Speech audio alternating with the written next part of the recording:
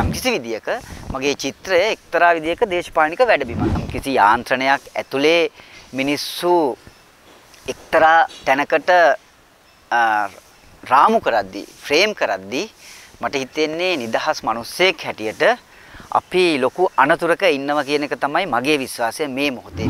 සංස්කෘතික සත්වයක් නැත්නම් Taman තුල ඇත්තම ජීව විද්‍යාත්මකව අපි මැරිලා.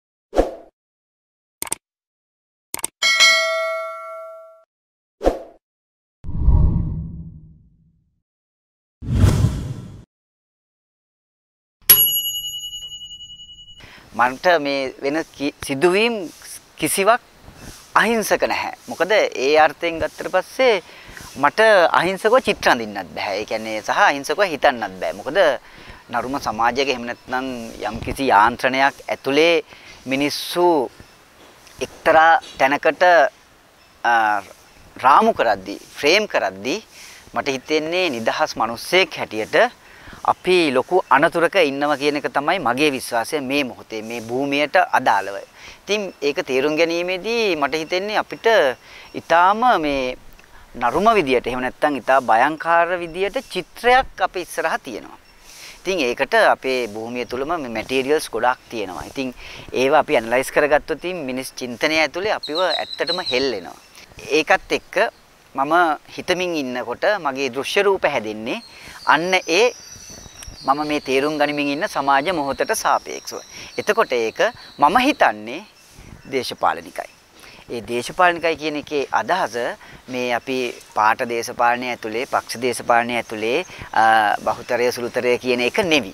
ඉතින් අන්න ඒ හුස්ම ගැනීමත් දේශපාලනිකයි කියන කාරණාව ඇතුලේ මම චිත්‍රයේ භාෂාවට ඇතුල් වෙන්නේ අන්න ඒ දේශපාලනික මුවහතත් එක්ක. එහෙම නැත්නම් ඒ සාන්ද්‍රණයත් එකතු කරගෙන තමයි මගේ චිත්‍රය ඇතුලේ මම මේ මූලිකාංග එහෙම නැත්නම් මූල ධර්ම හසුරවන්නේ. එතකොට යම්කිසි විදියක මගේ චිත්‍රය එක්තරා විදියක දේශපාලනික වැඩබිමක්. ඒකෙන් කියවෙන්නේ නැහැ කියන්නේ මහා අර්ථයෙන් මේ සමාජය චේන්ජ් කරන්න පුළුවන් ධාරිතාවක් තියෙන මේ කලාකෘති මම හදනවා කියන එක නෙවෙයි මම කියන්නේ.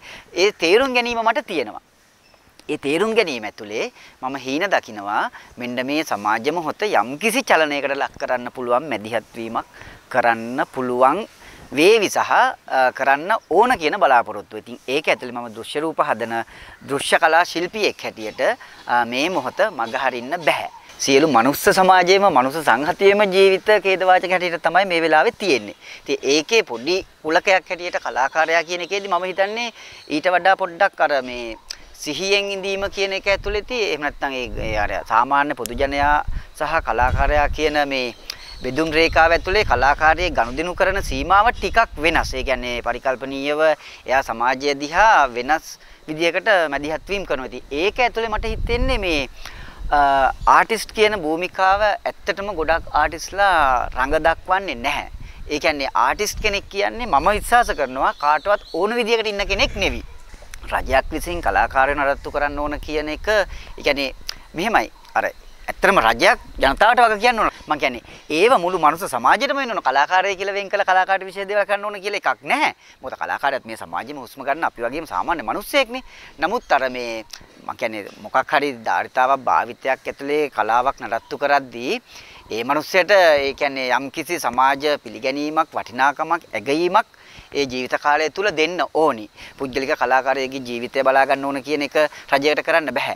රජය කරන්න ඕනේ මනුස්සන්ගේ ජීවිත බලා ගන්න එක. ඒකයි අහිමි වෙලා තියෙන්නේ. එතකොට කලාකාරයොත් රැකෙනවා මං හිතන්නේ. සංස්කෘතික සත්වයක් නැත්නම් Taman තුල ඇත්තම ජීව විද්‍යාත්මකව අපි මැරිලා.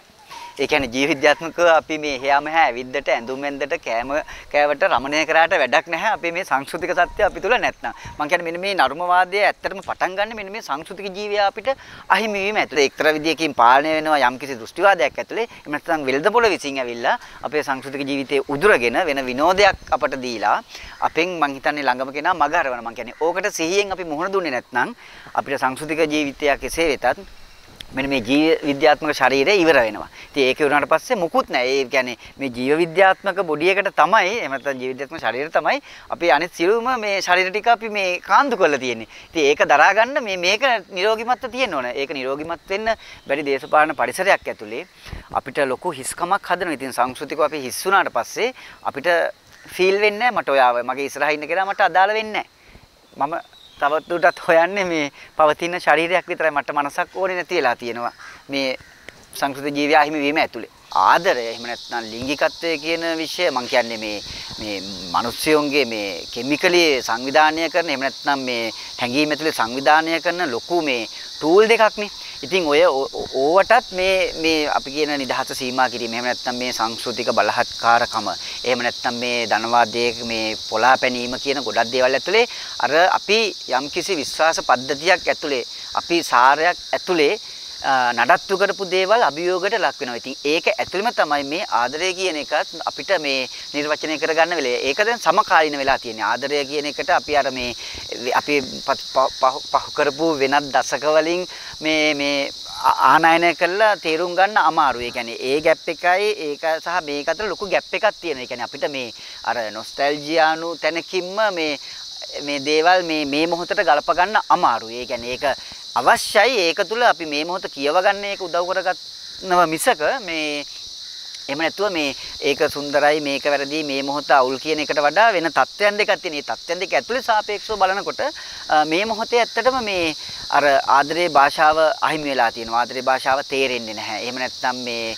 අර ෂෙයාරින් ඒ කියන්නේ කෙනෙක්ගේ උණුසුම එහෙම නැත්නම් මේ කෙනෙකුගේ බොඩි ලැන්ග්වේජ් එක ආදරය ඇතුලේ ඒක මගහැරලා තියෙනවා. ඒ තරමට ඒ කියන්නේ අපිට මේ මේ අපි ශික්ෂණය වෙලා නැහැ.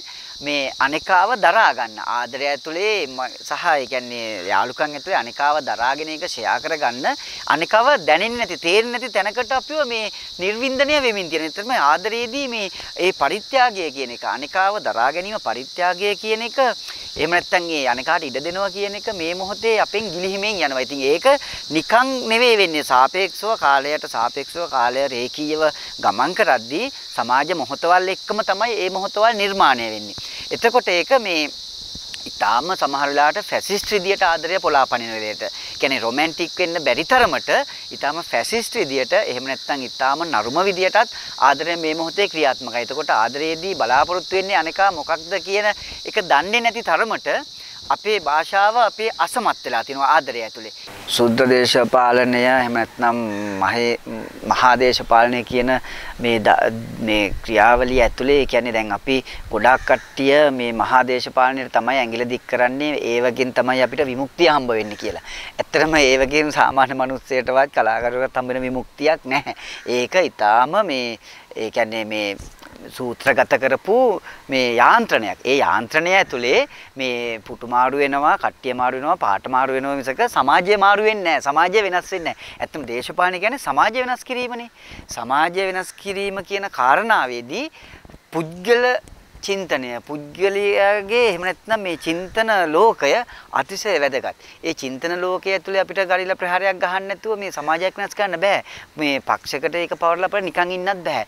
පුද්ගලයා හැටියට සහ මම හිතන්නේ ආර්ටිස්ට් කෙනෙක් හැටියට මෙන්න මේ තේරුම් ගැනීම එහෙම නැත්නම් මේ මේ චින්තනය අවදි කිරීම එහෙම නැත්නම් පරිකල්පනීයව එහෙම නැත්නම් මේ ඒ දේශපාලනික මැදිහත් වීම චින්තනය ඇතුළේ ඉස්සෙල්ලාම මේ Taman ඒක මේ පුබුදව ගන්න ඕනේ. ඒ කියන්නේ එතනින් තමයි පුංචි පුංචි දේවල් ගොඩක් එකතු වෙලා ලොකු දේවල් වෙන්නේ. එහෙම නැතුව මේ කිසිම පක්ෂයකින් අපිව වෙනස් කරලා දෙන්න, සමාජය වෙනස් කරලා දෙන්න, අපිව ශිෂ්ට කරන්න කියලා කිව්වට ඇත්තටම එහෙම වෙන්නේ නැහැ. එහෙම කරන්නත් බෑ. එහෙම කරන්නෙත් නැහැ. ඒක ව්‍යාපෘතියක්. ඒ ව්‍යාපෘතිය පැහැදිලි. ඒ ව්‍යාපෘතිය ඇතුලේ කට්ටිය මේ ඒක ෂෙයා කරගන්න එක වෙන්නේ නැතුව මිනිස්සුන්ට මුකුත් වෙන්නේ නැහැ සමාජෙට මුකුත් වෙන්නේ නැහැ ව්‍යුහාත්මකව මුකුත් වෙන්නේ නැහැ. ඒ ස්ට්‍රක්චරල් චේන්ජ් එක ගන්න ඕනේ පුද්ගලික කරල්ලක් ඇතුලේ. පුද්ගලික කැරැල්ලක් ඇතුලේ තමන් ගහන කැරැල්ල ඇතුලේ තමයි ඒක සමාජයට කාන්දු කරන්න වෙන්නේ කලාව විදියට හරි එහෙම නැත්නම් මොකක් හරි මේ ඇක්ට් එකක් හැටියට. ඒ ඇක්ට් එක මං හිතන්නේ තමන් තුලයි නිෂ්පාදනය වෙන්න ඕනේ ඉස්සෙල්ලා මම විශ්වාස කරන්නේ. ඒක ඇතුලේ ඒ ගොඩක් ඇක්ට් එකතු වුනහම ඒක සමාජයට බලපාවි. ඒක සමාජය වෙනස් කරાવી. කොහේ හරි දිශානතියකට ගමන් කරાવી කියන බලාපොරොත්තු සහ විශ්වාසය තමයි මට තියෙන්නේ. එතනින් තමයි සමාජය වෙනස් කරන්න පුළුවන් කියන අදහස මම හදාගෙන තියෙන්නේ.